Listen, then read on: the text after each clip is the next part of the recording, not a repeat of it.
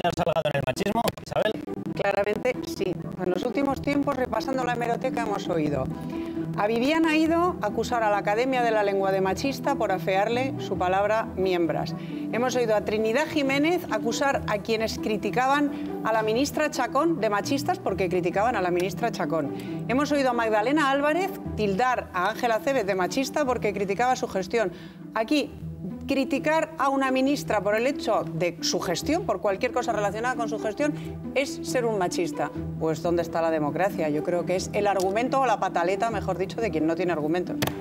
Bueno, yo no quería hablar de los, de, los, históricos sobre el machismo en el PP PSOE, pero ya que dices lo de la RAE, te recuerdo que en la RAE no hay una sola académica, hay dos, tres, cuántas son, y que ni siquiera María Moliner consiguió entrar. Pero sin hablar de la academia, eh, la realidad es que lo de la acusación de machismo no lo ha dicho nadie dentro del gobierno, no lo ha dicho la ministra eh, Elena Salgado, no lo ha dicho nadie en el Ejecutivo, lo ha dicho por un lado, la afirmación más machista del día es eso que ha dicho María Dolores de Cospedal, es que Rajoy no se podía pasar mucho con ella porque era como, comillas, como un chico que pega a una chica en el patio de un colegio. Eso sí que me parece machista. Ese estereotipo de que vamos a ser caballerosos con la pobre ministra que ha venido aquí y fíjate, ¿dónde está tu señorito? ¿Dónde está Zapatero que es con el que queremos hablar? Eso sí que es machista, no lo que ha dicho la ministra, que no se ha referido en ningún momento al machismo.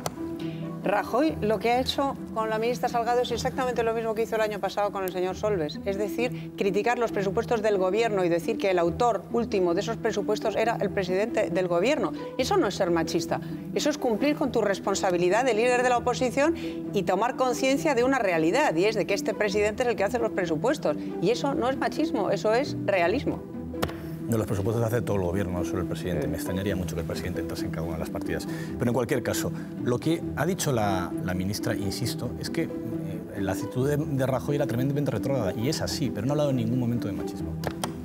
Como tú ahora me estás llevando a la contraria, eres un machista.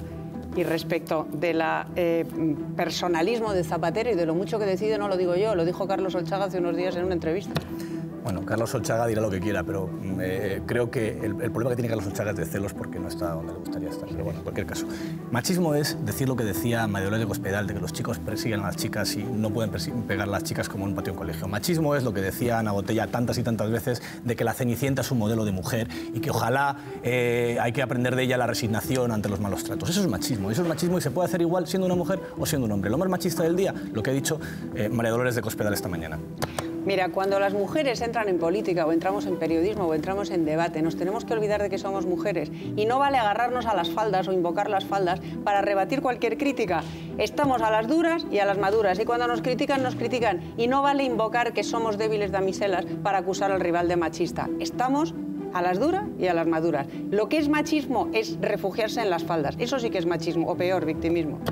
Pero es que, te insisto, en ningún momento Elena Salgado ha hablado de machismo ni ha acusado de machismo al señor Rajoy ni nadie de la oposición. Ha sido la propia oposición la que ha llegado a esos argumentos. Ha sido esa oposición la que ha dicho, la podía haber aplastado, pero hombre, ha sido caballeroso, que eso sí que es machista, y no la, y no la porque las mujeres, hombre, no se las abofetea, con mucho se las pellizca el culo, pero eso sí que es machismo. No lo que ha dicho Elena Salgado, que en ningún momento ha hablado de machismo ha sido peor, ha sido hipócrita y ha dicho que esto era retrógrado, que le recordaba a la España de hacía 60 u 80 años y ha tenido que venir el portavoz de Izquierda Unida a completar la frase y a decirle lo que quería decir a Elena Salgado era machismo. Ella ni siquiera se ha atrevido a emplear la palabra, o sea que encima ha sido cobarde. No, yo no creo que haya sido cobarde, ha sido realmente sincera porque de verdad es retrógrado lo que está haciendo el PP. Ha sido machista.